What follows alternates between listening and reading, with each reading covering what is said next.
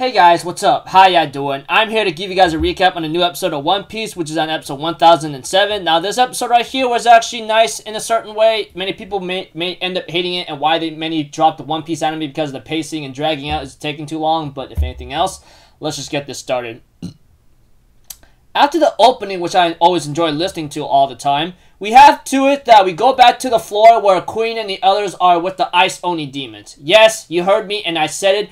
Ice Oni demons. It's the bullets that Queen uses to infect his his allies and foes alike in order to like turn them into demons. And the moment you get touched by them, you get infected too. and You turn into an ice demon and go on a rampage. You know. We have to it that Queen actually has the antidote and passes it to Apu and says, "Hey, make sure you survive or you'll die. You know, or you'll be."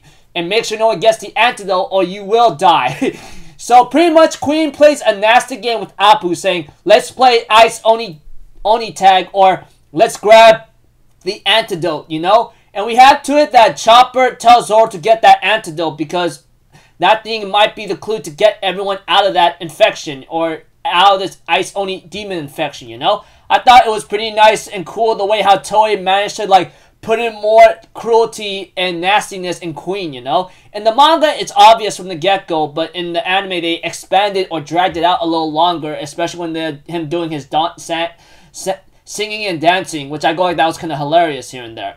Then we see a then we see a short scene with Kaido facing the nine red samurai once again, and he ends up knocking back Inugarashi and Nekomamushi out of their Sulong forms. And Kaido says, "Let's finish this once and for all." You hear me? And then the and then we go to a scene with Yamato having to talk to Shinobu and Momonosuke. You know, we had to. Yamato ends up telling Momonosuke and Shinobu that she's here to help him out, you know? And she explains about 20 years ago that she saw Kozuki Oden's execution and how his speech and everything else was so beautiful to her, you know? Not to mention, um, how much Yamato told Momonosuke that she wanted to help Momonosuke that day, but Kaido was about to drop drop Momonosuke off to his death, you know? But that's when she did not have any power. But now that she is stronger and better than before, she's ready to die and protect Momonosuke, you know?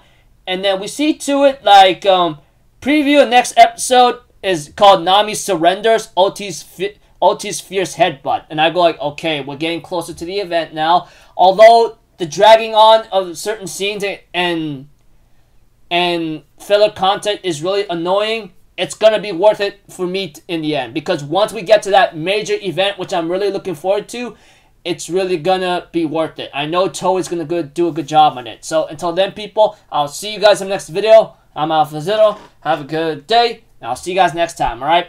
Peace out. Bye bye. Toot ta